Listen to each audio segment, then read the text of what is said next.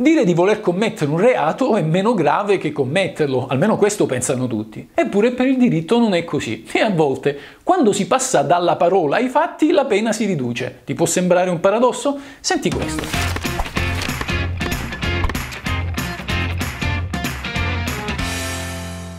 Secondo la legge, chi minaccia di danneggiare commette reato, ma chi la danneggia no. Questo significa che chi fa tante chiacchiere viene incriminato, mentre chi agisce conserva intatta la fedina penale. Possibile? Eh, assolutamente sì, almeno in presenza di determinate condizioni. Facciamo due esempi. Marcello ha un acerrimo rivale in condominio, si tratta di Ernesto, suo dirimpettaio di Pianerottolo. Un giorno Ernesto nota che l'auto di Marcello all'interno del cortile condominiale è parcheggiata in malo modo e non gli consente di passare. Appena lo vede inveisce contro di lui e lo minaccia.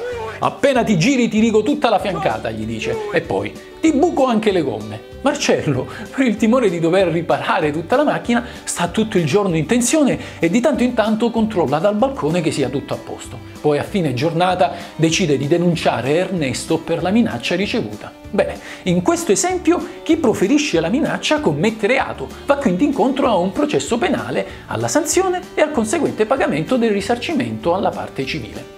Torniamo all'esempio di prima. Ernesto, anziché minacciare Marcello di rompergli l'auto, che fa? Aspetta che questo si assenti per sfregiare il cofano con un chiodo. Ernesto denuncia Marcello, ma la querela viene archiviata. Il comportamento di Ernesto, in questa seconda ipotesi, rientra nel danneggiamento semplice, quello cioè commesso su luoghi privati come un giardino condominiale. Ebbene, tale comportamento è stato depenalizzato ed oggi non viene punito se non con una sanzione civile, da 100 a 8.000 euro. Il tutto subordinato peraltro all'avvio di una causa intentata dal danneggiato, quale però potrebbe non trovare conveniente agire in tribunale per un danno così irrisorio.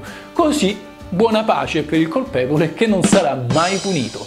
Resta reato invece il danneggiamento aggravato, quello cioè commesso su una strada pubblica o un parcheggio pubblico. La sostanza è dunque questa. Chi minaccia di danneggiare una cosa altrui commette sempre reato, quello appunto di minaccia. Al contrario, chi passa direttamente ai fatti e danneggia il bene altrui, ma lo fa in modo da non rientrare nelle condotte aggravate, ad esempio abbiamo detto quando l'auto è parcheggiata in una piazza, non commette alcun reato essendo il danneggiamento semplice un illecito non più penale ma amministrativo. Questa è la legge.